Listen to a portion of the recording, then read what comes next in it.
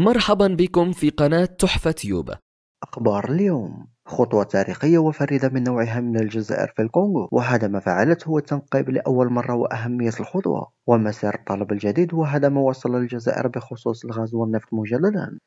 بداية وفي خطوة تاريخية واستثنائية الجزائر تنقب عن الغاز والنفط في الكونغو.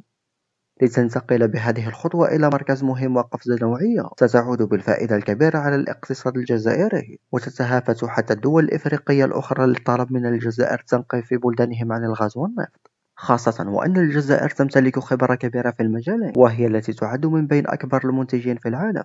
إذ تتموضع في مركز مهم جدا وقادمة بقوة مع الاكتشافات التي أعلنت عنها مؤخرا. باكتشافات ضخمة في مناطق متفرقة من التراب الوطني.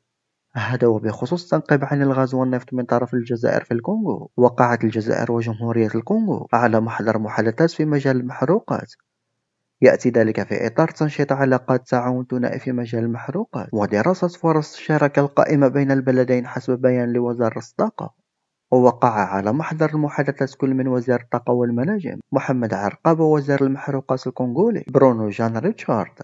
ويشمل المحضر تبادل الخبرات في مجال تطوير إطار قانوني وتنظيمي يحكم التنقيب عن المحروقات واستغلالها وتبادل الخبرات بشأن الإصلاحات وإنشاء هيئات تنظيمية وتنظيمها وتعزيز الأنشطة في قطاع المحروقات. كما يضم تبادل الخبرات والتجارب في مجال تطوير عقود معيارية للتنقيب عن النفط واستغلاله وتبادل الخبرات والتجارب الجزائرية في تطوير قطاع الطاقة وخاصة الغاز الطبيعي المسال ويشمل محضر المحادثات بين الجزائر والكونغو. استكشاف فرص تواجد سوناترا في قطاع التنقيب عن النفط والغاز في جمهورية الكونغو وتنمية التعاون في مجال التكوين وتنمية رأس المال البشري. مع العلم أن الغاز وصل لأسعار قياسية كذلك النفط زاد سعره بشكل ملحوظ في الأسابيع الأخيرة ما يعني فوائد ضخمة لكل الدول التي تنقب على هاتين المادتين. اللتان عليهما طلب جنوني خاصة في ظل أزمة الغاز الروسي ومقاطعة دول الغرب له وتهافت العديد من دول الغرب على الجزائر لشراء كميات ضخمة من الغاز والنفط والجزائر تفرض منطقها والسعر الذي يناسبها. هذا ومن جهة أخرى أخبار اليوم. محلل وخبير سعودي منبهر من الخطوة الجزائرية والسر الخفي للزيارة ولماذا الجميع يسارع للجزائر ولماذا حل الروس في الجزائر حاليا؟ وهذا ما حدث وطلبه بالتفصيل. بداية عاد مجددا الخبير في شأن النفط وعضو لمجلس الاستشاري لهندسة البترول والغاز في جامعة الملك سعود. الخبير نايف الدندني للوجهة مرة أخرى ليكشف مفاجأة الجزائر وثقلها في الساحة الدولية حيث قال داني أن الجزائر هي ملجأ عواصم أوروبا وإفريقيا لمواجهة أزمة الغاز متحدثا حتى عن زيارة لافروف للجزائر. والصدى العالمي الذي رافق الزيارة الهامة. وقال الدندني في تغريدة له على حسابه على تويتر تعليقا على زيارة وزير الخارجية الروسي للجزائر بالقول أمواج أسواق الطاقة العاتية تدفع بلافروف وزير الخارجية الروسي إلى الجزائر التي تخطب ودها عواصم أوروبا لإمدادها بالغاز. وأضاف أن الجزائر لا تعول عليها أوروبا فقط بل حتى إفريقيا التي تسعى لوصول الغاز النيجيري إلى خطوط الأنابيب في الجزائر ومنها إلى سواحل أوروبا المتعطشة للغاز والنفط. وكان أشار أيضا إلى أن الجزائر تعمل بجدية واحترافية لاستغلال النفط أحسن استغلال وأخذ مكانة مميزة بأفضل تموقع في ظل تسابق العديد من الدول الأوروبية على غزها لتنقذهم من أزمة الغاز الروسي الذي بدأوا في الفعل في التخلي عنه تدريجيا. وعليه يقول الخبير السعودي والعديد من الخبراء الأجانب أن الجزائر مقبلة على طفرة في اقتصادها خاصة إذا أحسن استغلال الفرصة وهو المتوقع واستثمار تلك العائدات.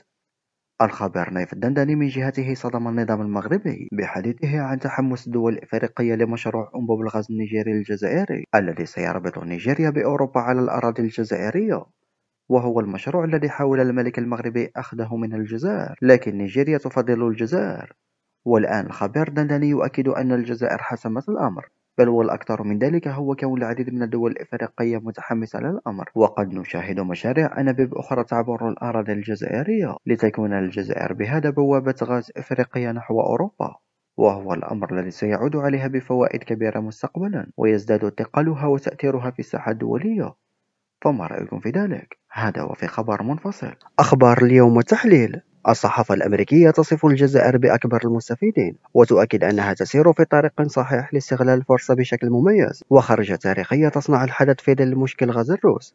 بداية وفي ظل التهديدات الروسية بوقف الغاز عن دول أوروبية في حال عدم الدفع بالروبل تسارع بعض هذه الدول للبحث عن بدائل لاستبدال الواردات الروسية. في خطوة قد تعيد رسم خارطة سوق الطاقة العالمية. وهو الوضع الذي جعل للجزائر مركزا مهم دوليا مع توجه جميع الأنظار إليها هي وبعض الدول المنتجة للغاز خاصة وأن الجزائر لها كمية ضخمة وبدأت في مضاعفة إنتاجها.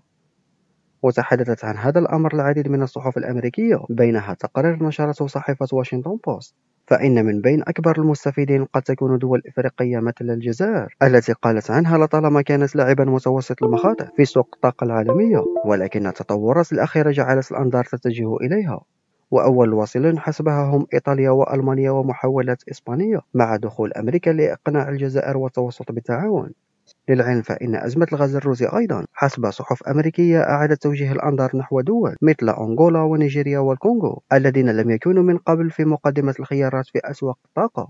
وأشارت واشنطن بوست وغيرها من الصحف إلى أن الغاز الجزائري سيكون الأقل تكلفة وتفضله العديد من الدول الأوروبية على الغاز القطري والأمريكي. نظرا لكون الجزائر لها أنابيب تربطها مباشرة بأوروبا. في حين أكد محلل دولي أنه لا توجد أي دولة الآن قادرة على إنتاج كميات كافية للجميع بسرعة قياسية لكن ما سيسهل نوعا ما والأهم هو وجوب التعاون ودخل الاستثمارات في مجال الطاقة في الدول التي تريد رفع إنتاجها مثل الجزائر. وهذه من بين بعض الحلول في الإسراع في عملية تخليهم عن غاز الروس. مع العلم أن التحركات الأوروبية تأتي ردا على التهديدات الروسية التي تلت إجراءات موسكو بقطع الغاز عن دول أوروبية لرفضها الدفع بالروبل. الأمر الذي تفاعل بدول مثل ألمانيا وإيطاليا إلى طمأنة مواطنيهم بأنهم يبحثون عن حلول بديلة. إذا قام بوتين بتوسيع الحظر ورجح التقرير أن الأشهر 18 المقبلة ستكون وقتا عصيبا لأوروبا خاصة مع ارتفاع الأسعار. فيما تكافح الحكومات من أجل استمرار تشغيل مصانعها وتوفير التدفئة للمنازل والحفاظ على محطات الكهرباء. إذ لا توجد بدائل كافية على المدى القريب لتجنب معاناة اقتصادية كبيرة في الشتاء المقبل إذا توقفت إمدادات الغاز الروسي. ومن هذه الأزمة هناك دول وجدت نفسها أمام فوائد ضخمة مثل الجزائر لأنها ستبيع غازها بأسعار قياسية للعالم وتضاعف إنتاجها وتزيد استثمارات تلك الدول داخل الجزائر. فما رأيكم في ذلك؟ هذا ومن جهة أخرى. أخبار اليوم. أكبر قوة اقتصادية أوروبية تفاجئ الجميع وتدخل الخط بقوة مع الجزائر. بشكل رسمي ومفاجآت بالجملة على أرض الجزائر. فماذا ستفعل وهذا ما طلبته في التحالف معها؟ ولن تصدق ماذا قالوا عن الجزائر. بداية كما كان متوقعا من ألمانيا التي تعد أكبر قوة اقتصادية في أوروبا. الآن تدخل بشكل رسمي في حلف قوي مع الجزائر. سيعود بالمنفعة الكبيرة على البلدين.